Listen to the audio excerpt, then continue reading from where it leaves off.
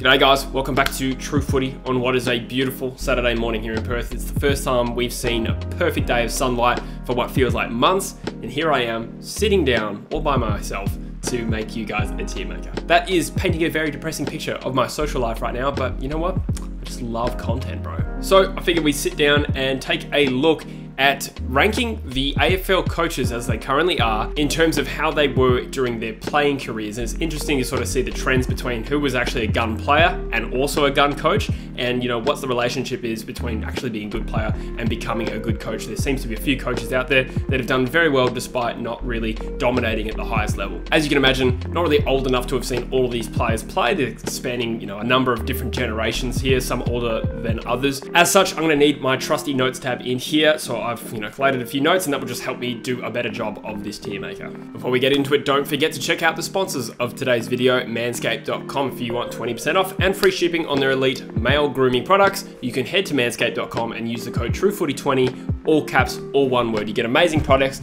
like this cologne, which I keep very nice and close, and some moistened ball wipes. You've also got the boxes, the actual lawnmower 4.0 itself, and you know, things like the ball deodorant as well, which you know, you don't think you need it, but you probably do. It's also Father's Day coming up. Not saying you buy your dad a ball deodorant, but you know, it's an option. It's an option. All right, let's crack into the tier maker. All right, first up, we're going to go with Adelaide's Ben Rutten. He's obviously the coach of Essendon right now, but he played 229 games for the Crows. Uh, never won a flag there, if I'm not mistaken. I think he came close in 05 when they won the minor premiership. I believe he was All Australian that year as well. Uh, one of the, not one of the few, but one of uh, a handful of players that I genuinely remember quite well. He was a good sort of uh, defender in a very strong team. I'm going to say he's earned gun status. Okay, I think I'm going to reserve elite for you know the truly elites, which we'll get to in a moment. But uh, he was definitely a gun, Ben Rutten. Next up, we got Chris Fagan, played about 260 games in the handful, as it's called in Tasmania, never played at the truly elite level or what is considered the elite level in the VFL AFL arena, if I'm not mistaken. Just played in Tassie. As such, sort of, despite having a very good career, can't rate him too high. Um, it's I don't know why he didn't play, you know, VFL, AFL. I'm sure he had a good enough career to sort of warrant it, but for whatever reason, didn't. So I'm gonna put him in decent because I think he's I think he's better than average based on the career. Like I said, 400 odd goals in 260 games.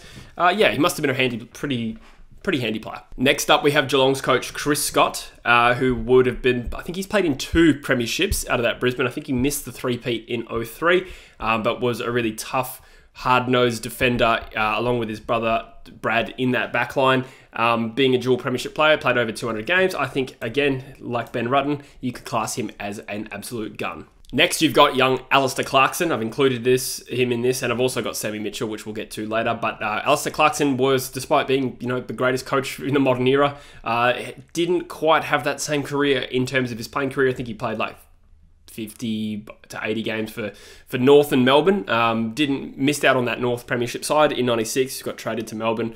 Uh, as such, I think he's probably the first average player. That's harsh, you know, to crack you know 50 to 80 games. Can't remember what it was. Uh, you, you, must be half decent, but in terms of scaling this, I think I think he's average. Is that harsh to put him below Fagan, who never actually played in that league?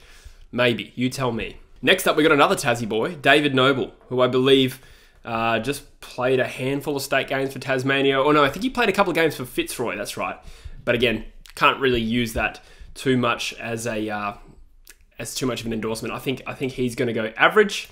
Uh, seems to be doing a good job at North Melbourne as head coach to sort of moving to that point I said earlier about good coaches don't necessarily have have to have played at the highest level or dominated. Um, but it's early days. But uh, yeah, I think I think average player is fair. Next up, we've got David Teague again, another player who played for two clubs, uh, under 100 games. He played for Carlton and North Melbourne.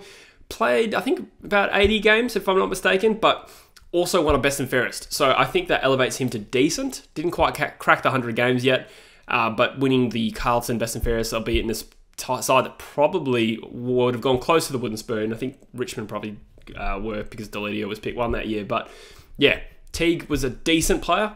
Um, I think that's fair. Next up, you can't really tell from the picture, but I believe that is Damien Hardwick, who played you know 200 odd games for two clubs. I think it was 150 for Essendon, another 50 for Port Adelaide.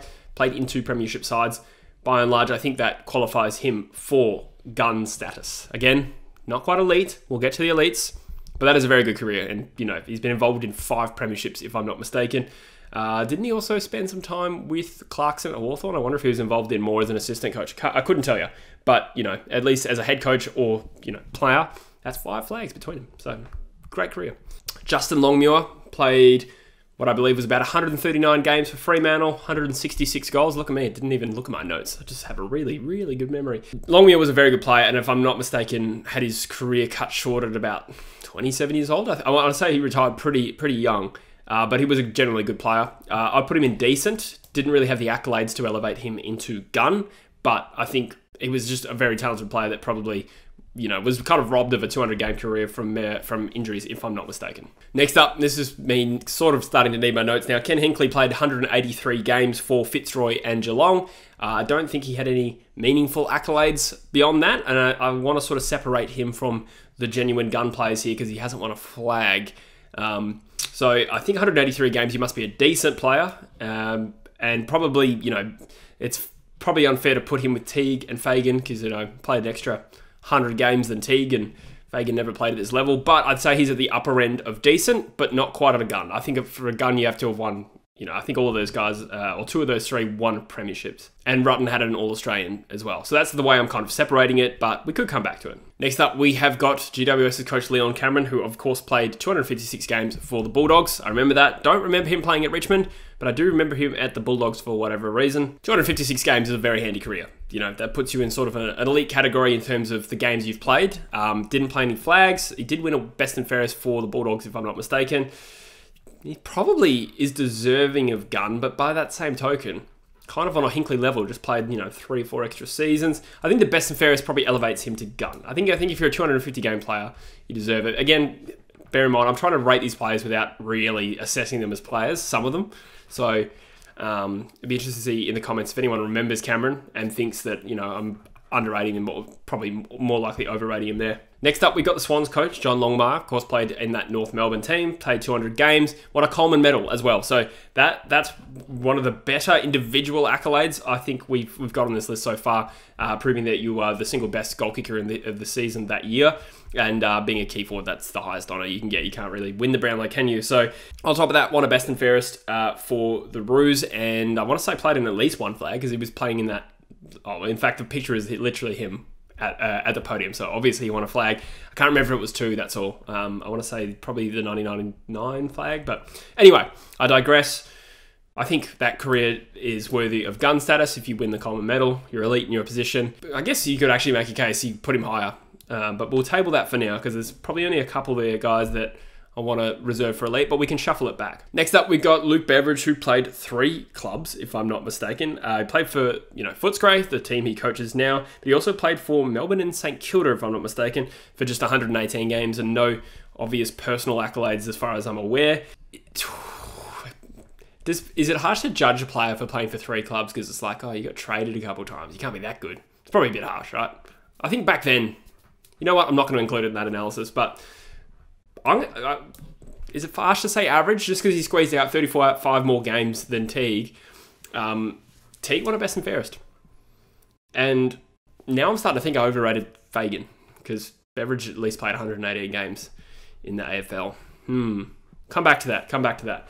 We got Matthew Nicks at the Sydney Swans, played about 175 games. I actually do remember him, uh, but sort of right at the tail end of his career. Played for 10 years, I think he's probably on the Hinkley sort of level. No, no accolades as such, but 175 games, you must have been decent. I think you've you've surpassed average when you pass about 150 games, just of and by itself. So, pretty good effort. Next up, we have Carlton's Brett Ratten, and he played 255 games. I do remember uh, I don't know if it was the last game, but there was some sort of Ratten milestone game while I was still watching football. So I sort of caught the end of uh, of Brett Ratten there. But he played 255 games, won a premiership in the 1995 side. Uh, he was captain for a couple of years, three best and fairest, and two All Australians. I think we've got our first elite player.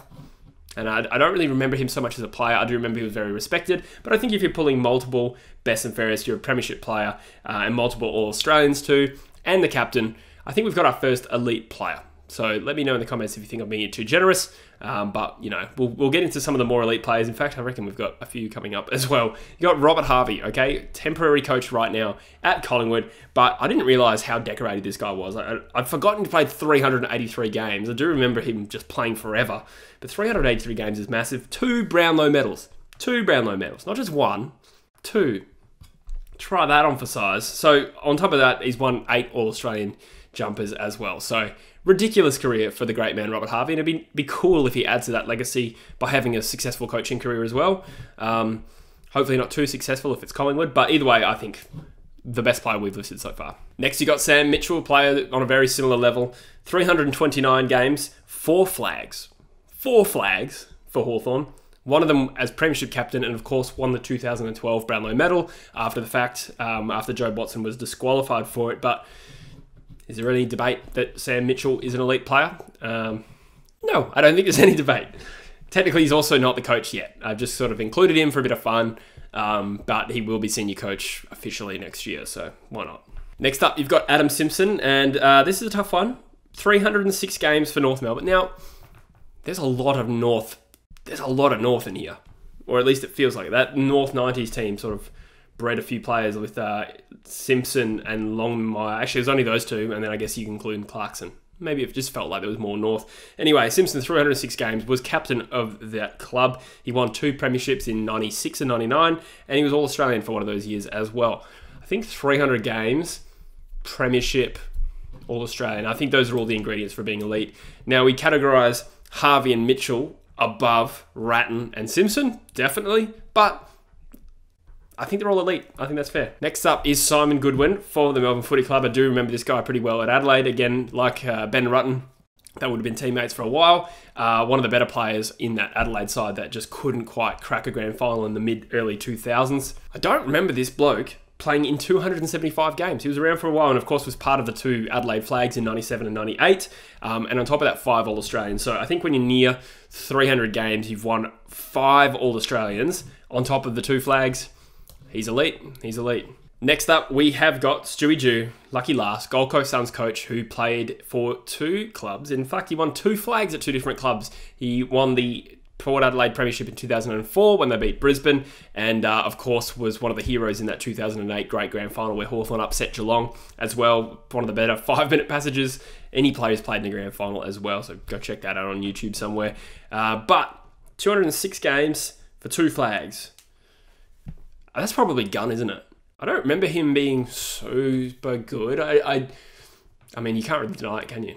But it's just more like my memory, my perception was just that he was sort of like a novel player because he's a hugely wide set bloke with an amazing left foot boot. Uh, I used to fear playing Port Adelaide in particular early. I used to get belted by them. Anyway, I'm talking shit here.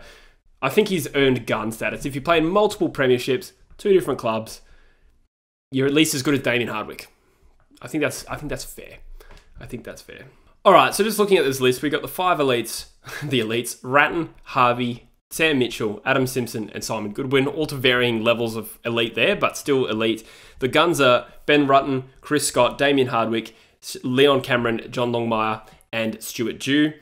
This is where I'm going to make my first change. I'm going to probably drop Fagan down here. I'm sure he was a very good footballer, but I can't really group him above, you know, a Luke Beveridge who played 118 games. So I'm going to change that. The decents will be Teague, 83 games, but one of best and fairest. Longmuir, uh, Ken Hinkley, and Matthew Nicks, who sort of stuck out longer careers. And then the average players, it seems harsh, but certainly in comparison to some of their coaching careers, uh, you've got Alastair Clarkson, David Noble, Luke Beveridge, and Chris Fagan, who never played at the highest level. That's it, guys. That is my tier list of AFL coaches currently in the league as to how they were as footballers in their playing careers. Let me know in the comments what you think I got right or wrong. Again, pretty open to the fact that I didn't see a lot of these players play. So, kind of going with educated guesses on half of these. So, if you're a bit older, you can sort of shed some light. Let us know where you would have gone differently. I'm kind of happy with that based on the logic. I think I think I did okay. Anyway, guys, thanks for watching. Hope you're enjoying the content lately. Do subscribe if you haven't already, and we'll see you in the next video. Cheers.